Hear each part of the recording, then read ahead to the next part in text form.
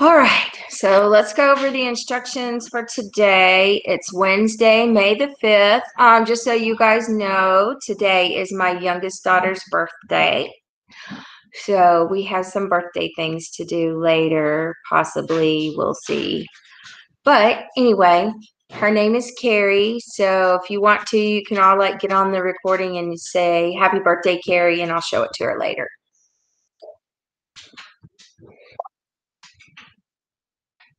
Tell her I said happy birthday. Okay, yeah, you guys can definitely send uh, little messages. That'll be fine. All right, so let's move on.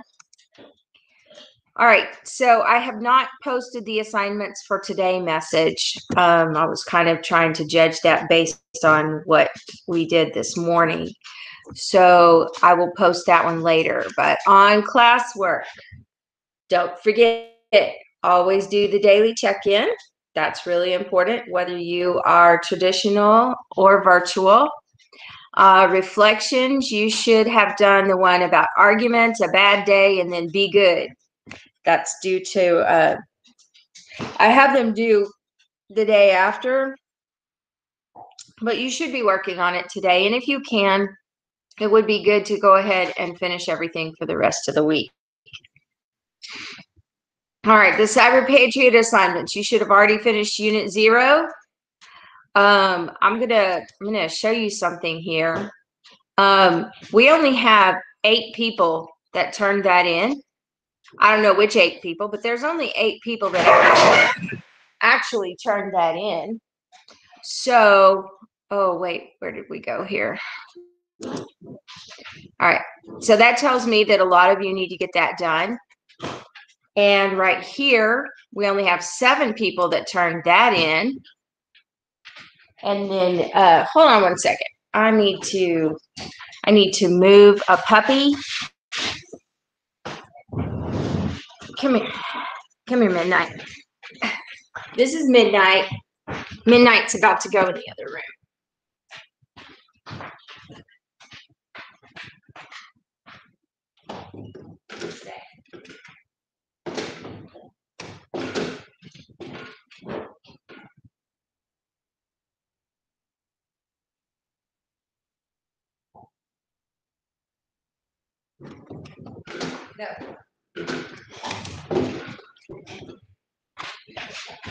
Okay.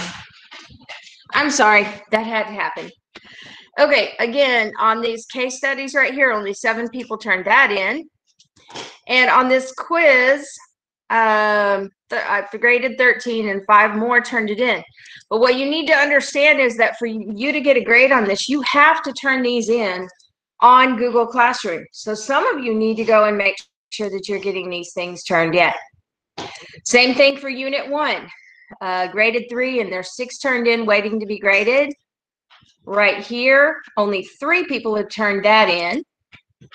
So that tells me that a lot of you need to catch up on getting these things turned in. Um, all you had to do was type a document with some notes in it. This one, you had to answer the case studies. This was a quiz. Remember on the quiz, you type in the private comments box your score that you make whenever you see your score on teacher made.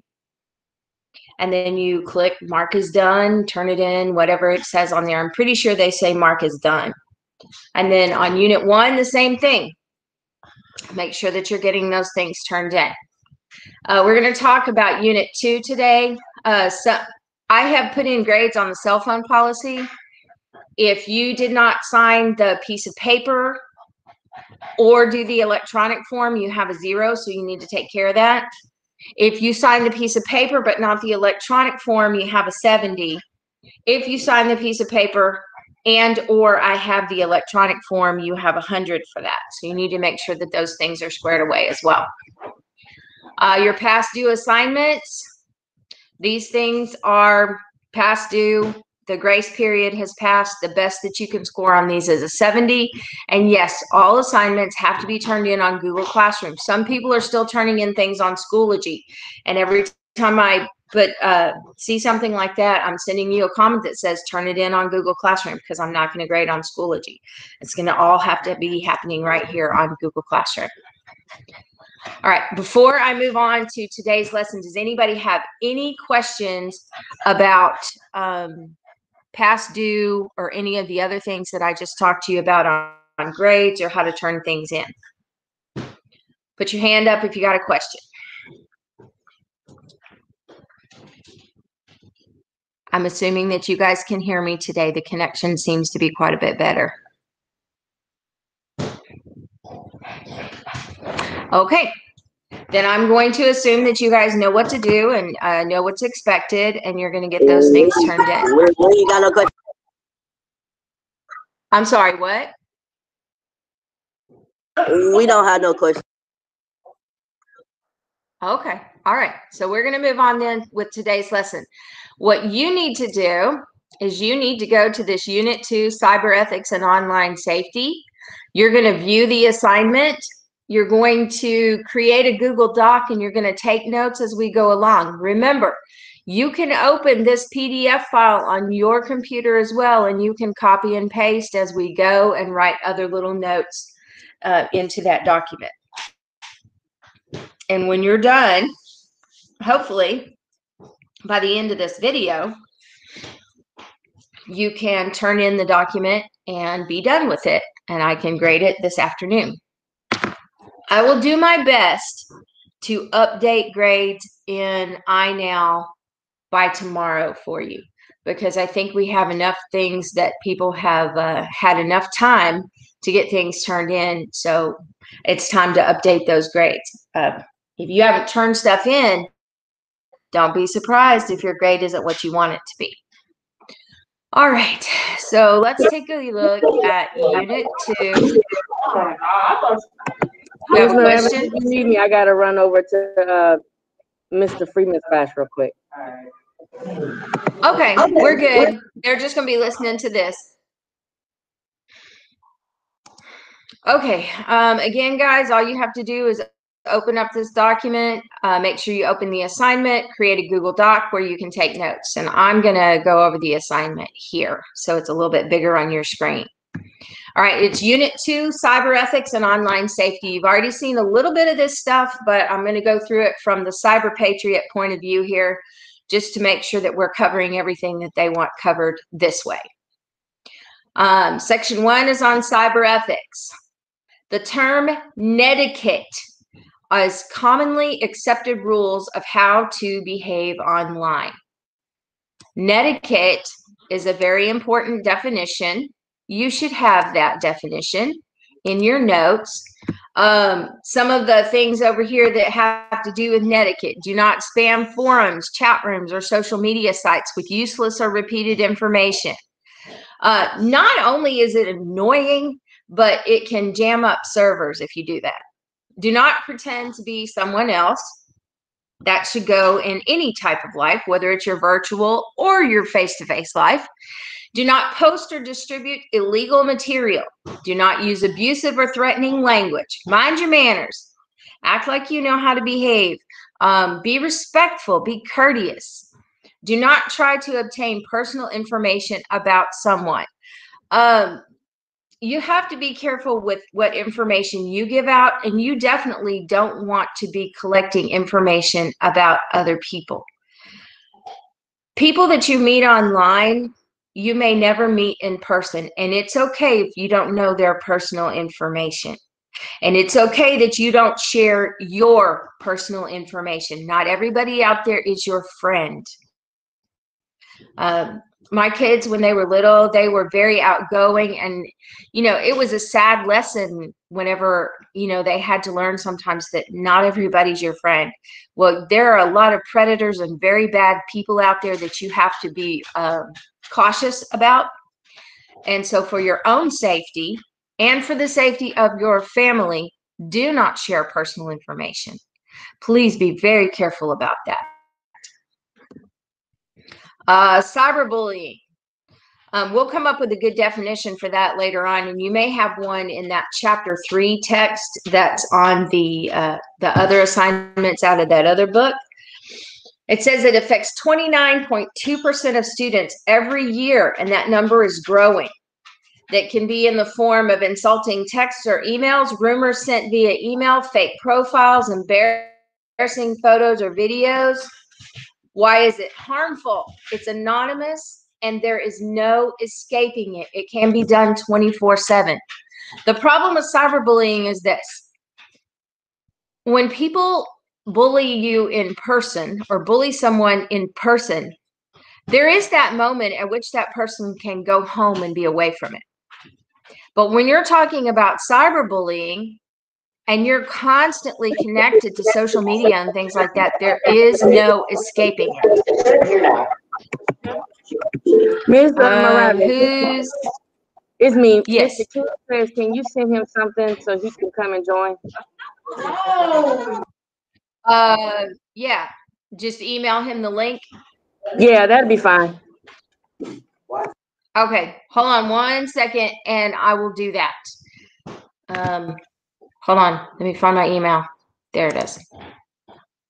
Okay, let me go back to my Google Classroom here. Uh, we may need to, I may need to record this again in second period just because we got so much going on right now. Copy link address. And where's he at?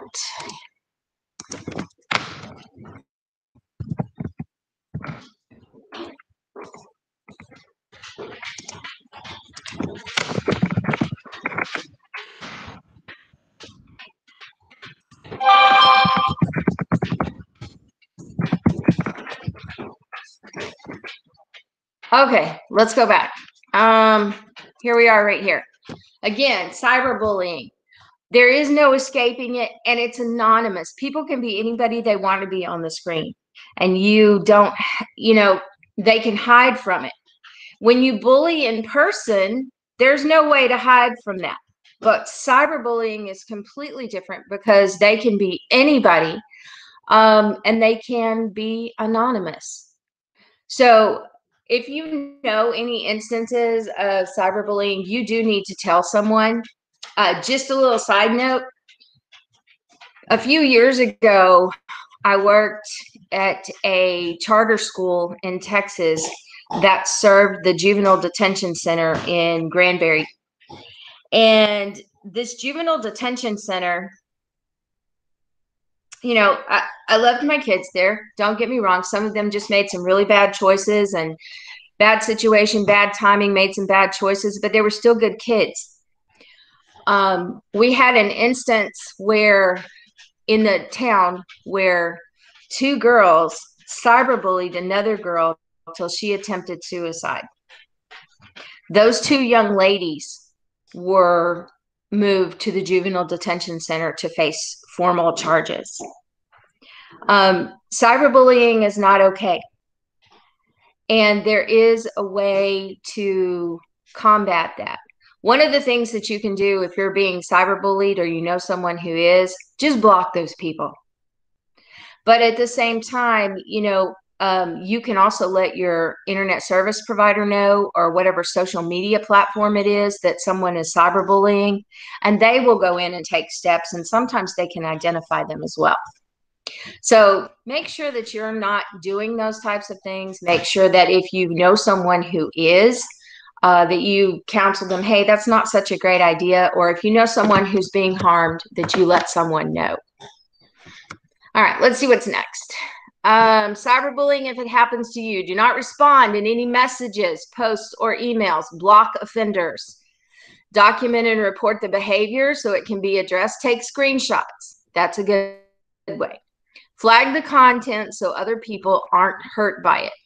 This is something that you will probably need to go through, and I think it would be a very good idea if you put this particular slide into your notes as well.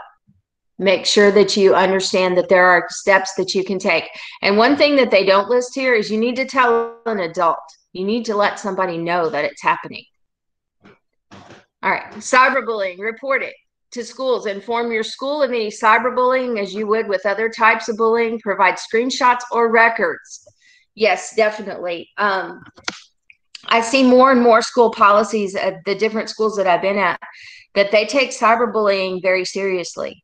Whether it happens during school hours or outside of school hours, you're still targeting a, a cyberbully is still targeting a student of that school. And it's taken way more seriously than it was in the past. Uh, to your parents and law enforcement, especially if it involves threats of violence, explicit messages or photos, taking a photo or video of someone in a place where he or she would expect privacy, stalking, and hate crimes. These are all types of situations where you need to make sure that you are letting school, your school know, your parents, and law enforcement if uh, any of these situations are involved. And I would highly suggest that you just copy and paste this entire slide right here into your document because all of the information right here is extremely important. All right. Uh, again, you can go back and you can copy and paste later, or you can type whatever it is that you want to do. But we're going to go ahead and go through the presentation. Um, this video is being recorded, so if you want to go back and watch it later, you can. All right, the 10 commandments of computer ethics. You saw these on the unit zero it, where it said do not. Well, they have replaced that with thou shalt not. And these are the 10 commandments of computer ethics. Thou shalt not use a computer to harm other people. You know, that takes care of the cyberbullying and things like that. Thou shalt not interfere with other people's computer work. Remember the case we talked about where he crippled the whole city because he wouldn't give up the password. Thou shalt not snoop around in other people's computer files. That is not polite. You don't go read somebody else's diary. You don't need to snoop around in their computer files. Thou shalt not use a computer to steal Thou shalt not use a computer to bear false witness. Bearing false witness means lying, spreading falsehoods. Thou shalt not copy or use proprietary software for which you have not paid. That means don't go use programs that aren't yours. Thou shalt not use other people's computer resources without authorization or proper compensation. If it's somebody's job to do certain things on the computer, um, you can't just go appropriate their resources. You have to ask them, is it okay if I use this? And sometimes you have to be willing to pay for that. Thou shalt not appropriate other people's intellectual output. We talked about that also on Unit Zero, talked about intellectual property and how it's protected now and how important it is to people. Thou shalt think about the social consequences of the program you are writing or the system you are designing. If you become a programmer if you become someone who does these things that writes all this code and things like that, you need to think about the social consequences of whatever it is that you're writing or being asked to write. And make sure, because one of the things that you're not supposed to do is harm other people. Because Commandment 10 says, Thou shalt always use a computer in ways that ensure consideration and respect for your fellow humans. All right, consideration and respect. These are things that are very, very important, whether you are in person or whether you are in a virtual community. Let's see. Section two, online safety. All right. Uh, so before we move on, are there any questions about section one?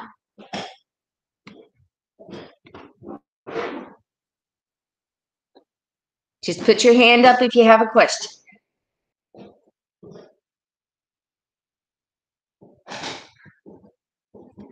All right.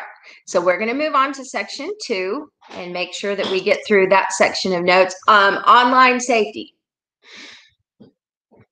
The basics, which means this should be things that, you know, kind of you've probably heard over and over again, but definitely should involve quite a bit of common sense. Safety online, the basics. Chat only with trusted, verified individuals. Don't talk with somebody, even in a chat room, that you don't know. Uh, I know that you guys are on social media and you chat with your friends. You text each other, you FaceTime each other, and all that kind of stuff. But you know who those people are.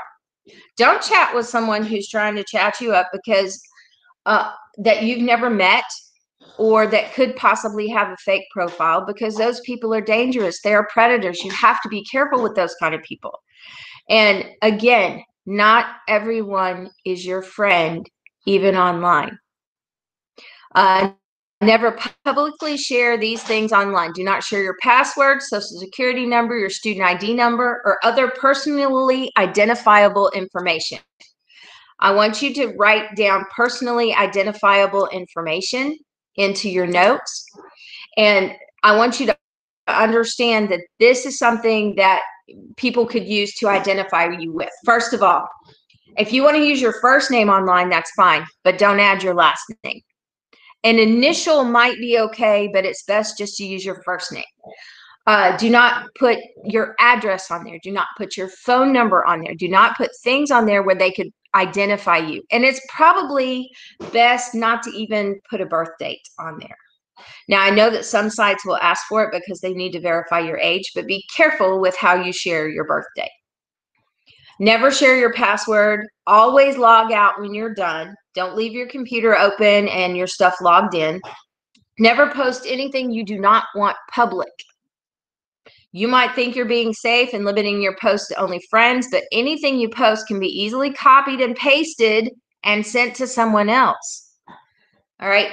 Remember that when you put things out there online, it's really hard to stop them from going any further. Even if it was posted by mistake, um, or even if you aren't the one that posted it and someone got into your computer and posted it with your name, it's still hard to stop. It's very difficult to stop those things. So be very careful about what you post. Um, think about what you want to say, then type what you want to say, and then read what you said and make sure that it still says what you wanted it to say.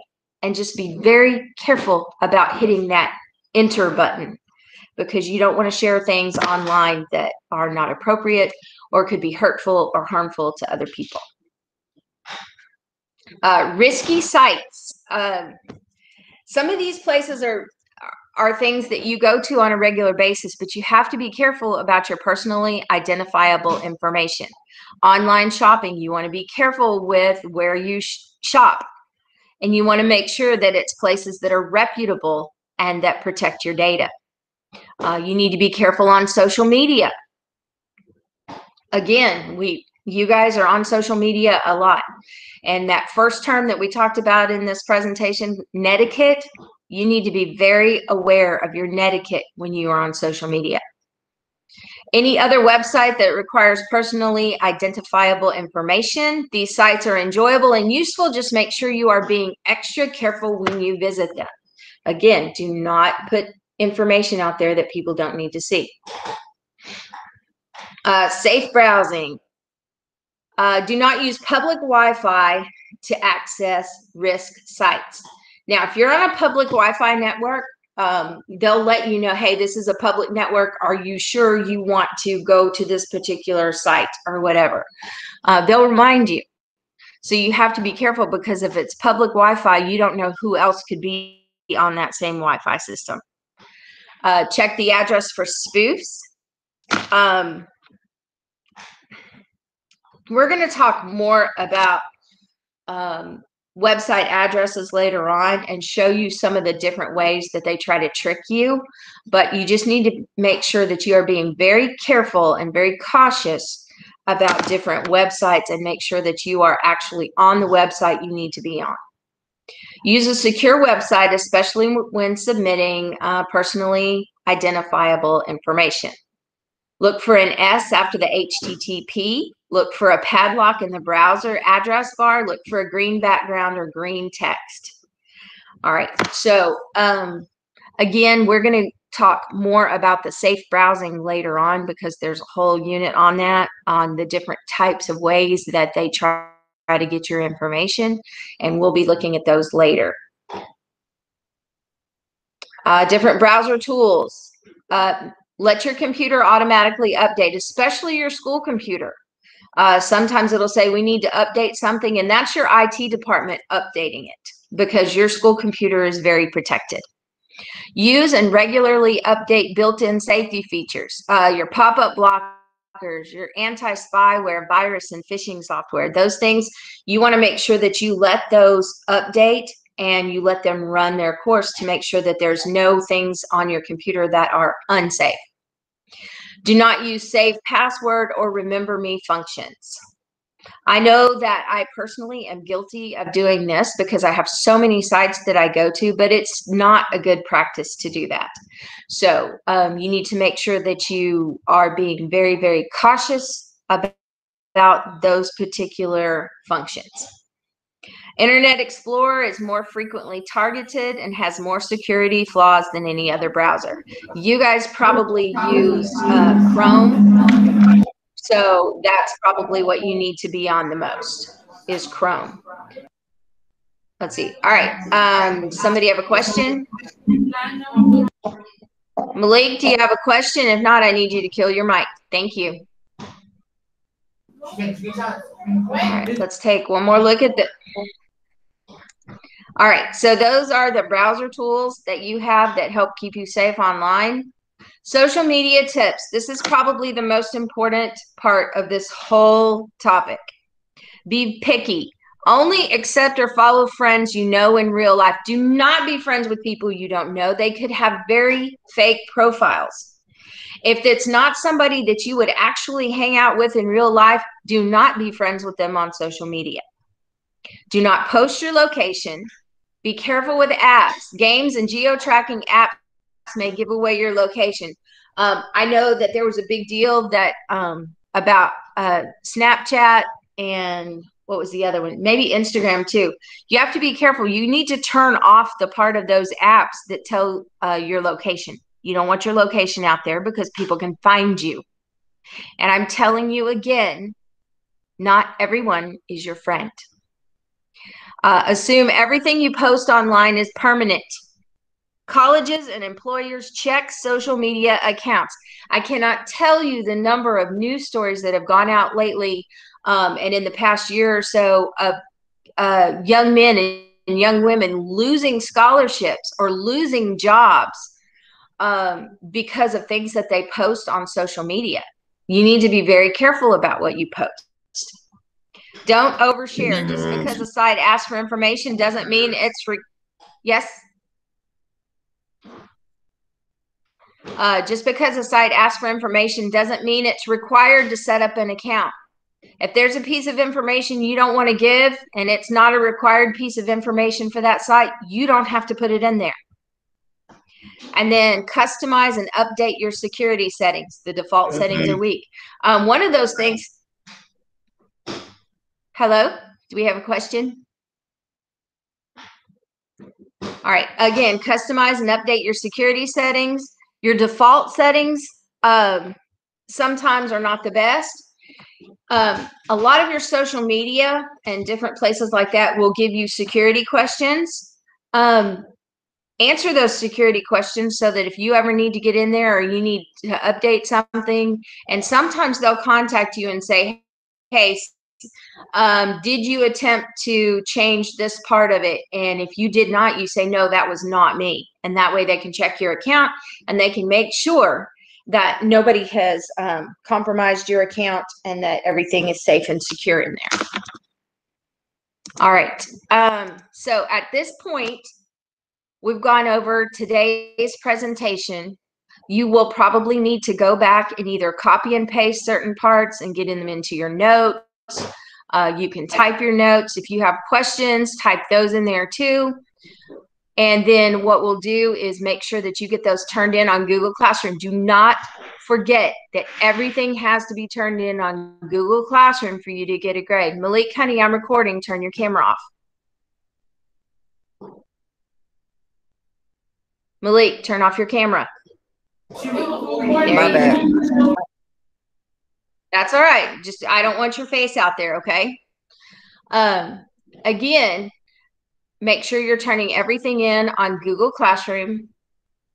Uh, let me know if you have questions. You can tell um, Miss B if you have questions. She can text them to me. You can stop the video and write down things you need to write down as you go. Okay. Okay. Uh, all righty.